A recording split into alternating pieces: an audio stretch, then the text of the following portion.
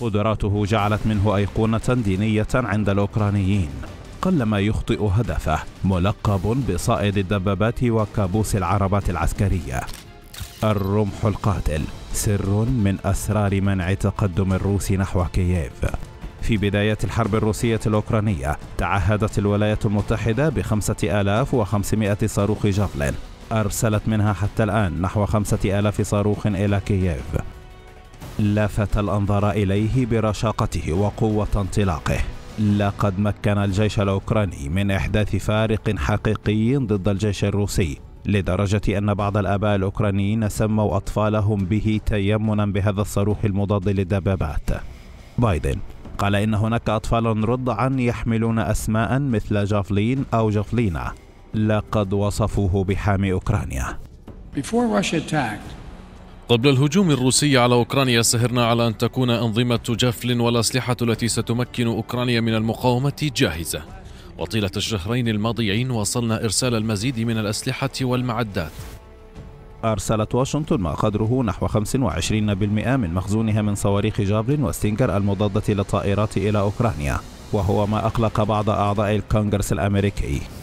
صواريخ جافلين ربما تكون السلاح الأكثر تطورا وأقوى مضاد للدبابات وهي إضافة قوية لترسانة أوكرانيا. كييف تمتلك الآن ما لا تمتلكه بعض دول الناتو من صواريخ جافلين صاروخ جافلين يسمح للقوات الأوكرانية بإقامة الكمائن لاستهداف القوات الروسية. لقد عانت الدبابات الروسية من الرمح القاتل. يستهدف صاروخ جافلين دبابات القتال الرئيسية والسيارات المدرعة والمخابئ والكهوف والتحصينات والمروحيات منخفضة التحليق. وثبت له معدل موثوقية أكبر من 94% دخل صاروخ جافلين المضاد للدروع الخدمة في عام 1996 ويصل أقصى مدى إطلاق له إلى نحو خمسة كيلومترات يطلق عن طريق حمله على الكتف. ويبلغ وزنه نحو 22 كيلوغراما. يصل سعره إلى 225 ألف دولار كنظام إطلاق كامل. ويتقوس لدى بلوغه الهدف ويستهدف النقطة الأضعف من الهدف من الأعلى. جافلين يشبه رماح الجيوش الرومانية القديمة التي تسقط على الأرض بزاوية شديدة الانحدار ما يمنحه القدرة على اختراق أي دبابة.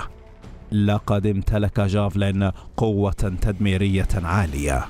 في النهاية صواريخ جافلين الرشيقة يمكن استخدامها في جميع حالات الطقس نهارا أو ليلا فضلا عن أن عملية الإطلاق لا يصاحبها الكثير من الحطام أو الدخان ما يصعب على العدو تتبع مكان الإطلاق. ليبقى الرمح القاتل حائط صد منيعا ضد تقدم الروس إلى العاصمة كييف.